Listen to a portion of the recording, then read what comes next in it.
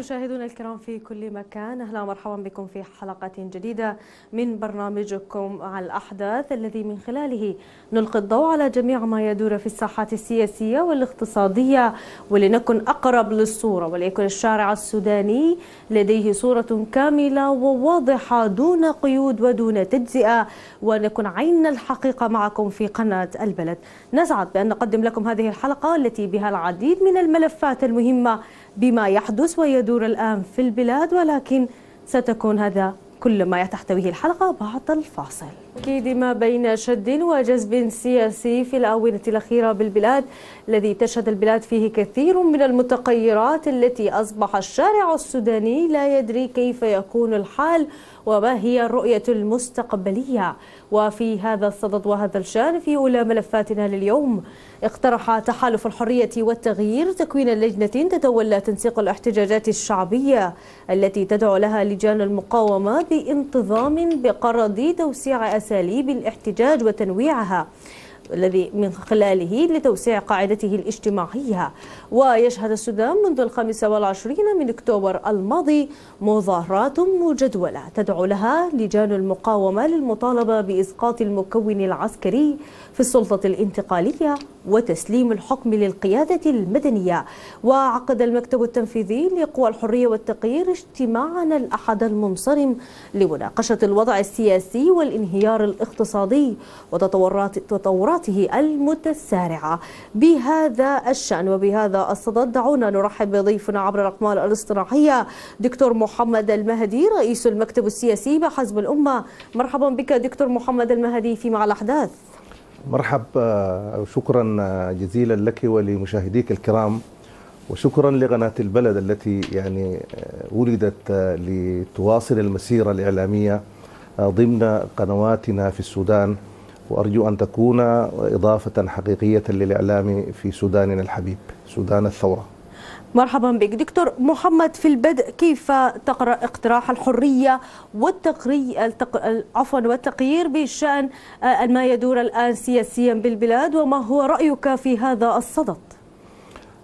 طبعا الحرية والتغيير سيما الإخوة في المكتب التنفيذي للمجلس المركزي للحرية والتغيير هم من ينسقون ويديرون العمل السياسي عقب منذ اعتصام القيادة العامة وعقب انتصار الثورة هم الذين تولوا التفاوض مع المكون العسكري وتكونت المؤسسات الفترة الانتقالية. وكان المأمول أن تتواصل الشراكة وفقا لما نص عليه واتفق عليه في الوثيقة الدستورية. ولكن بكل أسف الإخوة في المكون العسكري قطعوا الطريق على ذلك وفضوا الشراكة. ولذلك رجعنا للمربع الأول وذلك منذ الوقت منذ ذلك الوقت وحتى اليوم هم من ينظمون وينسقون مع قوى الثورة الأخرى الحراك في في الشارع ودعم العمل السلمي المظاهرات السلمية نعم. كجهد شعبي شبابي للضغط على المكون العسكري للرجوع عن الخطوة التي أغضب عليها وهي خطوة الانقلاب العسكري الذي عادنا إلى المربع الأول وجعل الشعب السوداني وشبابه في الشارع بالشكل الذي يراه كل الناس ولذلك هم من يعني لازم كان لابد أن يتخذوا هذه الخطوة للتعامل مع نعم. هذا الواقع ولكن هذا الذي يعني عملوه لا يتناقض ابدا مع كل الخطوات التي تتجه نحو إنهاء الانقلاب العسكري والعودة إلى الحياة السياسية الحياة المدنية واستئناف الفترة الانتقالية لمسيرتها حتى تصل إلى الانتخابات الحرة والنزيهة بكامل الترتيبات المدنية المطلوبة نعم. وفقا لما نص على ذلك في الوثيقة الدستورية. نعم بالتأكيد دكتور محمد هنالك مطالبة صريحة بدعم حراك لجان المقاومة والعمل على عدم استغلال هذه التكوينات عبر الأحزاب ما رأيك في هذا الصدد؟ وطبعا ليس استغلالا وإنما الحرية والتغيير هي مجموعة أحزاب ومنظمات مجتمعية ولذلك هي لديها جمهور نعم. ولديها مؤيدون وبالتالي تنسق فيما بينها ومع لجان المقاومة للعمل على ضغط والتعامل مع الشارع بالصورة التي رآها كل الناس رموزها قياداتها كوادرها. هي الآن موجودة في الشارع كلما ظهرت كلما تم الاتفاق على موكب ترى الجموع الشعب السوداني تخرج في كل مدن السودان وميادين العاصمة القومية. ورموز الحرية والتغيير يعني ضمن هذه التحركات باعتبار انها تحركات الشعب السوداني الذي يتوق إلى الحرية والديمقراطية وإلى الحكم المدني بعد أن جرب الحكم العسكري مدة طويلة و يعني تضررت البلاد ضرر بليغ جدا جدا. الشعب السوداني الشباب السوداني يرون كيف أن العالم من حولهم تقدم وتطور وبسط الحريات وتمكن الناس من أن أن يض يعني يعززوا المعادلة معادله التداول السلمي للسلطة وكيف أن الجيوش يجب أن تدعم وتدرب وتؤهل ولكنها تحتفظ بمسؤوليتها وفقا للدستور تحافظ على أمن البلاد تحافظ على نعم. دماء الشعوب وبالتالي تحرس الحدود وتحمي الأوطان. لا أن تحكم. هذه معادلة جربها العالم وهي المعادلة المضمونة للتنمية وللتطور وللنماء نعم. الدكتور محمد الآن لنكن أكثر وضوحا وأقرب للصورة. الحراك الثوري السوداني الآن رؤيته مشوشة بشكل كبير والشارع السوداني أصبح منقسم إلى ما بين مؤيد للحراك الثوري وبين رافضين أيضا لهذا الحراك الثوري ويرون أنه لن يجدي نفعا. ما هو موقفكم أنتم داخل حزب الأمة من هذا الحراك الثوري؟ طبيعي طبيعي أن أنه مستحيل أن أن يتفقوا جميعا على على أمر واحد. الحقيقة الكاملة لا يعلمها إلا رب العالمين. نعم. وهي موزعة بنسب متفاوتة بين البشر حتى ولكنهم إذا اجتمعوا نعم. تكاملت الحقيقة ولذلك صار رأيهم معصوم عن الخطأ كما قال الرسول صلى الله عليه وسلم لا تجتمع أمتي على ضلال. صحيح. لكن إلى أن يحدث ذلك ستظل الحقيقة موزعة بين الناس. نعم. لذلك لا يدعي أحد لا نستطيع أن ندعي ولا يستطيع أحد أن يدعي أن كل أهل السودان على قلب رجل واحد وامرأة واحدة قلوبهم فيهم لديهم وجهات نظر. ولذلك يظل هنالك من يرى ضرورة الضغط لإنهاء الانقلاب العسكري والرجوع إلى الحياة المدنية. وهنالك من يدعمون الانقلاب العسكري ويدعمون الخطوات التي أقدم عليها قائد الجيش. وذلك رأيهم وتلك ذلك منهجهم. ونحن نحترم خياراتهم لكن الخيار الشعب السوداني في سواده الأعظم هو ضد الرجوع إلى الحكم العسكري مرة أخرى وتظل القوات المسلحة محترمة ومغدرة. وهذا الحراك في نظرنا أنه يضر ضرر بليغ جدا بالعلاقة بين الشعب السوداني وقواته المسلحة. يعني لا يجب أن تستخدم القوات المسلحة يعني بالصورة التي نراها الآن ضد شعبها. لا القوات المسلحة قوات محترمة مقدرة تجد منا كل التقدير والدعم للدور الذي تقوم به في حراسة السودان وفي حماية السودان وفي حماية شعب السودان. لا أن توظف لضرب أبناء الشعب السوداني ولا يجب أن يحدث تناقض بينها وبين شعبها الذي يعني يقتسم من لقمة عيشه ليوفر لها الطلقة نعم. والذخيرة والتدريب اسمح لي أن أقاطعك دكتور محمد المهدي. أنت تحدثت عن العلاقة ما بين المكون المدني والمكون العسكري وبين الشعب وأيضا المكون العسكري. لكن البعض يرى أن يجب قيام دولة بدون وجود المكون العسكري. هل بوجهة نظرك نحن بلاد طال حكمها من المكونات العسكرية على مدى أعوام طائلة؟ هل يمكن أن يكون هنالك حكم بدون مكون عسكري؟ يعني لا يمكن أن يكون هنالك حكم بدون جيش بدون نعم. قوات مسلحة أصلا لا يمكن نعم. لكن المشكلة هنا في إنه هل الجيش واحد من مؤسسات الدولة هو لديه دور أساسي جدا جدا كأحد أهم مؤسسات الدولة أم يعني يوظف للحكم هذه هي المعادلة إحنا لا, لا أحد ينكر أهمية الجيوش في العالم. الآن الجيوش في الدول الكبرى تقوم بدور عظيم جدا وتوفر لها ميزانات كبيرة جدا لتطلع بمسؤوليتها ولتحمي الحدود ولتحرس الدستور.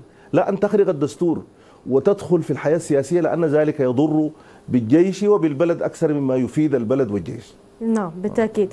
في, في هذا الصدد كيف تنظر بشكل عام آه، الآن للبلاد بتواصل الاحتقالات؟ في وقت تنادي فيه الأجسام السياسية بحوار شفاف وحوار أيضا دون وجود قمع ولا كبت للآراء. الآن الوضع أصبح متذبذب في هذه الأجواء والبعض يرى أن ما زال هنالك سياسات تمارس على حق حرية حق التعبير والرأي. ما رأيك في هذه؟ هذه هي المشكلة. حق التعبير حق التظاهر. نعم. آه، مكفول بالدستور ويجب أن يكون مكفولا. ويجب أن نمكن الشعب من أن يمارس هذا الحق. آه، وعندما يمارس هذا الحق يجب أن يجد الحماية من الأجهزة الأمنية خاصة سيما الشرطة. وهذه هي مهمة الشرطة وليست مهمة الجيش. حماية المظاهرات آه، حماية المنشآت ممن يمكن من من مما يمكن أن يحدث في المظاهرات لأنه لا نعرف كل المتظاهرون لديهم آه، هم أصحاب رؤية محددة وموحدة أم أن هنالك آخرين لهم أجندة أخرى؟ ولذلك تحمي المظاهرات وفي نفس الوقت تحمي المنشآت منشآت الدولة ومؤسسات الدولة ومؤسسات المواطنين من أي تعدي عليها. هذه هي مهمة الشرطة. آه، لكن نعم. أن توجه لهذه المظاهرات البنادق وتضرب ويسقط جرحى ويسقط من جراء ذلك اعتقالات وضرب كما نشاهد هذا مرفوض طبعا. آه، لا يقره دين ولا يقره شرع ولا يقره قانون ولا يقره ذوق سليم. فلذلك نفرد نميز بين المهمة الأساسية للأجهزة الأمنية في حماية المظاهرات وفي نفس الوقت آه، بين أولئك من تلك المحاولات التي نراها آه، تحدث للمتظاهرين. المظاهرات هذه بالتأكيد لن تستمر إلى الأبد في مطالب هذه المطالب يجب أن لا تتجاهل يجب أن لا القيادة السياسية ما تتجاهل هذه المطالب يجب أن ينظر نعم. إليها وتبقى المظاهرات ومطالبها مشروعه ولكن يجب أن تستمر اللقاءات والحوارات والاتصالات لنزع فتيل هذه الأزمة وليتجه الجميع إلى البناء والاعمار لبلد فعلا يحتاج إلى جهد جميع بنيه ويحتاج إلى أن يتكاتف أبناؤه لمعالجة الأوضاع المزرية التي يعني آه، حدثت نتيجة آه، ما حدث في 25 أكتوبر.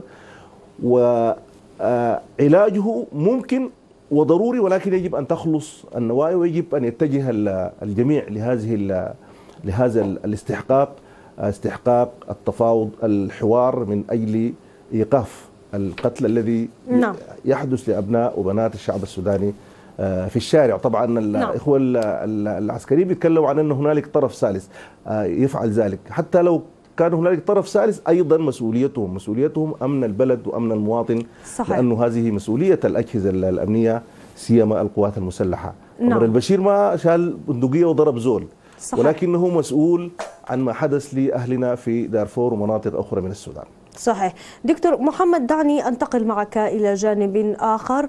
وقبل أن ننتقل إلى الحوار الخارجي دعنا نتحدث هل يمكن أن نقول انقلقت الأفق للحوار الداخلي الآن؟ لا لا أبدا.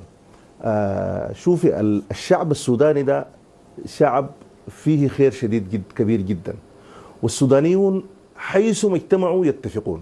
أصلا لا يمكن أن يجتمعوا لمناقشة أمر وينفضوا دون أن يتوصلوا فيه إلى اتفاق. نحن في بداية الأزمة نحن في حزب الأمة بدينا اتصالات آه، مع كل المكونات مع أننا جزءا من الحرية والتغيير ولكن شرعنا اتصالات مع أخواننا في المكون العسكري وكذلك أخواننا في في قوى الكفاح المسلح وكذلك أخواننا في المجلس العسكري المجلس المركزي مع أننا آه، لدينا ممثلون معهم في في المجلس المركزي. نعم. افترضنا أن هنالك أمور يجب أن آه، تجد حظها من تجد حظها من النقاش. ولكن نعم. حدث ما حدث فاجأنا بما حدث. وبعد الذي حدث أيضا تواصلت آه، لقاءاتنا وطرحنا آه، مشروع سميناه خارطه الطريق والتقينا جميع القوى السياسية. وتقريبا الآن نحن نقترب أنا بقول على مسؤوليتي نحن الآن كقوى سياسية و, و مكون كل المكونات المكون العسكري. أعتقد أننا الآن نقترب من حل. نقترب من حل. تقريبا بدت ملامحه في لقاءات تمت وستتم سيما الكلام الذي أدلى به رئيس مجلس السيادة في الفاشر وبعد ذلك أكد عليه في لقاء في في تلفزيون السودان. هذا يؤكد أن هنالك يعني انفتاح في في الأفق لأنه في البداية كانوا العسكريين كانوا لا لا يقبلون أصلا أن يجتمعوا مع مع المدنيين. وبعد مده تبين لهم أن هذا لا يمكن أن يحدث طالما أن هنالك يعني وطن يجمعنا جميعا يجب أن يحدث تحدث لقاءات لتجاوز الأزمة. صحيح. بالتالي انفتحوا على الحوار. الإخوة في المكون في المكون المدني رفضوا اللقاءات. جاءت خطوة ثانية كطرف ثالث مسهل ممثلة في مبعوث الأمين العام للأمم المتحدة ومبادرات أخرى من الاتحاد الأفريقي ومن الجامعة العربية ومن بعض الدول قلبها على البلد. أعتقد أننا الآن كل هذه المبادرات كل هذه اللقاءات الآن تقودنا جميعا لنقطه وسط يحدث فيها تنازل من هنا وهنالك من أجل هذا الوطن الذي يستحق منا أن نقدم كل التنازلات في سبيل بنائه وتنميته ورخائه وأن يبقى ويصبح وطنا شامخا بين الأمم امم العالم وهو بالتأكيد يستحق كل جهد يمكن أن يبذل في سبيل تجاوز هذه الأزمة واستئناف الحياة السياسية نعم. المدنية وصولا للانتخابات التي فيها. نرجع إلى الشهيد صحيح. الذي رأيه فوق كل رأي. صحيح هذا ما نتمنى جميعا أن نلجأ إلى انتخابات حرة ونزيهة. ولكن دكتور محمد بحديثنا عن الحوار كيف تابعت الجهود التي يبذلها فولكر رئيس بعثة الأمم المتحدة لدعم المرحلة الانتقالية في السودان الآن؟ بالتأكيد أنه فولكر نحن التقيناه وسلمناه خارطة طريق مشروعنا للتوافق الوطني. نعم. وكذلك ردفناه بمذكرة أخرى. واليوم كانت قيادة حزب الأمة تجتمع معه هو أكمل كل مشاوراته ونحن سعيدين جدا أنه وسع المشاورات استمع صحيح. إلى كل الطيف السياسي السوداني وحتى تجاوزه إلى الطيف المجتمع السوداني. وبالتأكيد تبينت له أن هنالك أن أن الشعب السوداني أن كل هذه القوة تتفق في أمور كثيرة جدا وتختلف في بعضها. الآن الخطوة القادمة والتي ربما بدأت في خلال ال 24 أو 48 ساعة ساعة القادمة في أن يدعو إلى مائدة مستديرة. والمائدة المستديرة هي أيضا واحدة من مقترحاتنا التي اقترحناها في مشروعنا للتوافق. لدعوة الأفرقاء كلهم للتحاور والتفاوض حول المختلف عليه للتوصل فيه لاتفاق. وهذا سيكون بداية انطلاقة لتوافق وطني واسع جدا جدا لتجاوز الأزمة. باعتبار أنه كانت في إشكالية بتاعت ثقة بين الأطراف. مشكلة القتل الذي حدث للمتظاهرين بعد الانقلاب الاعتقالات الواسعة التي حدثت الاتجاه نحو إعادة من أخرجه الشعب السوداني بالباب. بدأ يدخل الآن بالشباك اللي هو عناصر المؤتمر الوطني وهي نعم. أيضا تفعل فعلتها الآن في الخدمة المدنية كما ولدينا كثير جدا من الشواهد على ذلك. آه هذا الذي حدث يحتاج فعلا آه لبناء ثقة.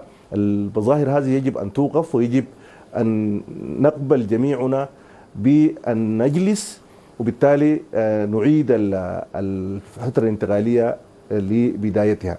فاذا ما حدث وتر الأجواء وسمم الأجواء والعلاقات بين المكونات.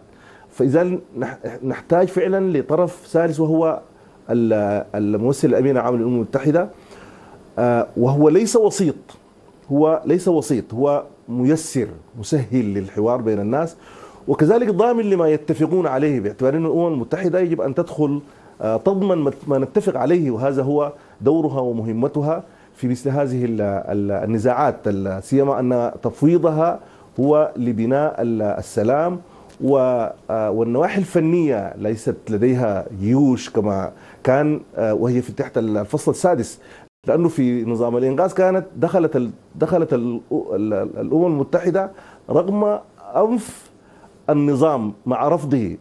وجاءت بأكثر من 45 ألف جندي لشرطي لقاضي لموظف وأصبحت بعثة متكاملة تتدخل في الشأن السوداني البعثة هذه لا تتدخل في الشعب السوداني آه، ولذلك نعم. دورها فقط مسهل وضامن لما نتفق آه، عليه ولكن في النهاية الاتفاق بيننا لأنه الحل يجب أن يكون سوداني سوداني نعم.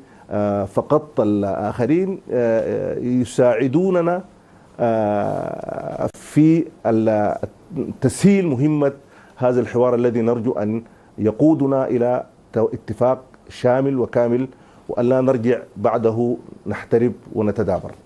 نعم دكتور محمد في ختام حديثنا معك. الآن الأحزاب السودانية تتشاكس وتتجادل والكل الآن يسلط الضوء حول مما يقولون من أصحاب الخبرة السياسية حول مصلحته الخاصة. رسالة توجهها لكل الجهات والمكونات والأحزاب السياسية بما تمر به الآن البلاد من أزمة طاحنة اقتصادية وضع متردئ سياسيا. ماذا توجه لهم؟ بالتأكيد إنه الليلة يعني أنا الآن سمعت أن اليوم الدولار آه، وصل إلى 140 آه، نعم. جنيه. نعم. آه، إلى 540 جنيه. 540 جنيه. 540 جنيه مش كده؟ نعم. هذه مسألة مؤسفة جدا.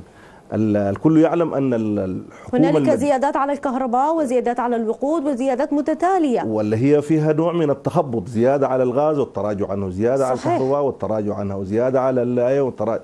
ولأنه الحكومة لا تدري ما تفعل. ليه؟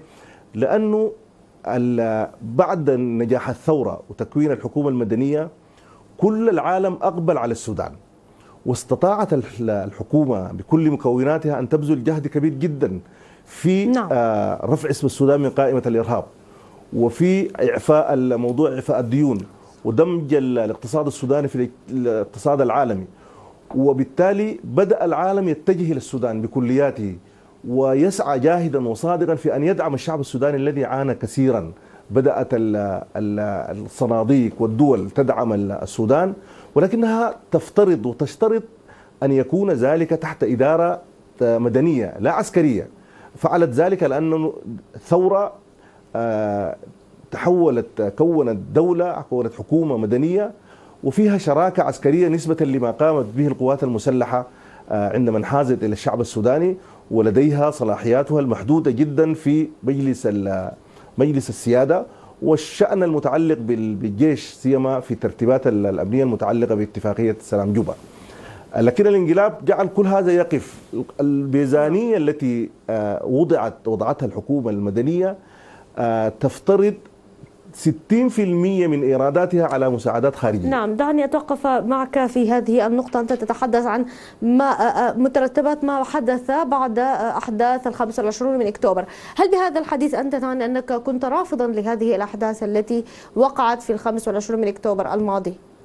بالتأكيد هذه يرفضها الشعب السوداني بكلياته نعم. هي هي عطلت الثورة أعاقت الثورة ورجعتنا إلى إلى إلى ما قبل أيوه نعم. وبالتالي أدخلت البلد في جحر الضب الخرب الذي نحن فيه الآن آه ذلك الأوضاع الاقتصادية الآن الدولار بعد أن تمكن الحكومة المدنية من حبسه وظل ثابت آه لمدة سبعة أشهر أو تزيد هو الآن انطلق السوق الموازي ما كان في سوق كان في سوق صحيح. واحد نعم. وبالتالي الآن انطلق السوق الموازي وهو الآن يتلاعب بالجنيه السوداني كما نشاهده كما وصل إليه الآن وهذه تنعكس على حياة الناس كلها بصورة مزرية جدا جدا وصادراتنا آه يعني آه محاصيلنا آه إنتاجنا الآن أصحابه يقفون متفرجون لأنه نعم. أسعاره في الحضيض متدنية جدا جدا واحتياجاتهم نعم. آه، تتزايد أسعارها يوما بعد يوم أمر مؤسف جدا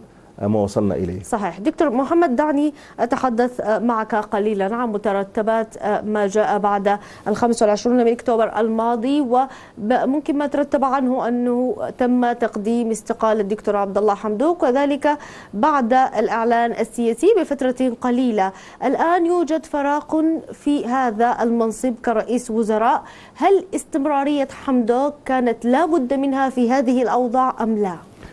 آه طيب أكمل ما, ما, ما, ما سؤالك الأول الخلاف بين القوى السياسية مسألة مفهومة ولكن نعم. يجب أن تختلف لتقديم بدائل ورؤى للخروج من الأزمة نعم. الخلاف في, في السياسة حاجة معروفة جدا ومعلومة جدا كبريات البرلمانات في العالم الناس بيشوفوا كيف آه بيختلفوا نعم. لكن في خطوط حمر يجب أن لا يتجاوزها الخلاف الوطن ومصلحته العليا نعم. هذه مسألة بالتالي أنه ما منزعجين نحن من الخلافات بين القوى السياديه فلتختلف ولكن يجب أن لا تتجاوز الخطوط الحمر في خلافاتها كأن يؤدي ذلك إلى السيادة الوطنية أو إلى ما إلى ما ذلك إلى إلى إلى غير ذلك من من مصالح البلد العليا، هذه نقطة. النقطة الثانية السؤال الأخير نحن كلنا الآن نعمل على تجاوز تجاوز ما حدث في يوم 25 أكتوبر. نعم. وبالتالي تجاوز اثاره السالبه جدا جدا على الحياة في البلد سيما في شقه الاقتصادي وكذلك شقه السياسي اللي هو قطع الطريق على الفترة الانتقالية وعادنا إلى المربع الأول. الشق الاقتصادي الآن فاعل فعلته في حياة الناس بصورة مزرية جدا جدا. يعني تلمسه في المواصلات في السوق في كل شيء بصورة يعني يجب أن يعني ستفرض علينا ويجب أن تفرض علينا إنه نحن نعمل ونسرع الخطى في إيقاف هذا التدهور للحياة حياة الناس والوضع الوضع الاقتصادي يجب أن نسرع ونقدم كل ما هو ممكن في سبيل العودة إلى الحياة المدنية حتى تستأنف مسيرة تعاوننا مع العالم. إذا ما استمر بالتأكيد أنه مش الأوضاع الاقتصادية ووقعها الثقيل على الناس وإنما ربما نفاجأ بعقوبات عقوبات من المجتمع الدولي من دول أساسية في في العالم. نفاجأ بعقوبات وبالتالي نرجع إلى محطة الصفر العزلة والعقوبات.